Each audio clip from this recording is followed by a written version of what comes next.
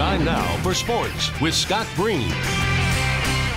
Yeah, welcome back, everybody. Forsyth basketball girls should be among your best in Class B this season. Q2's Athlete of the Week is literally a big reason why. Our Alec Boffinger has her story.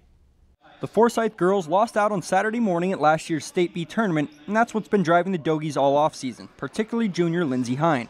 The 6'6 Hein is an imposing shot blocker and can score in the low post, but it's what she added to her game while playing AAU in the summer that has made her even more lethal. I think that I worked on mostly the physicality and becoming stronger, and then also just running the floor because AAU is really fast tempoed. So I think I just tried to like run the floor and be more physical, and also be able to step out and hit an outside shot because I used to only just be able to score in the post, and I've really been working on that outside shot. They find ways to to make it hard for her, and we have to adjust and. And it's not always easy having somebody that tall because there's there's always different plans on the floor. I mean, if her percentage is bad, you know, that that costs you. I mean, it's it's the work she does, you know, in the off season that is paying off where she's at right now.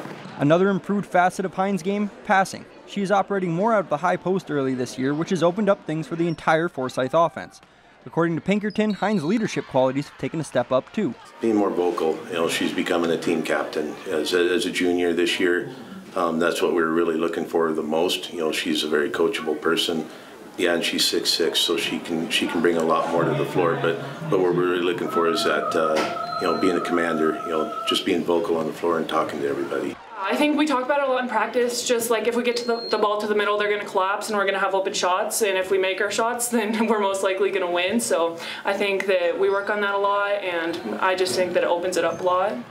Expectations are sky high around Forsyth this season, and for good reason. The Dogies bring back four seniors that played substantial minutes last year, as well as the return of Reese Peterson from a torn ACL. Our expectations this year is to go out and have fun, and if we don't approach it that way, you know, it becomes too serious, it becomes a job, and we just want to go out and have fun. We're not expecting to be undefeated this year. We're, we're just wanting to, you know, play ball and see how far we make it. Alec Boffinger, MTN Sports.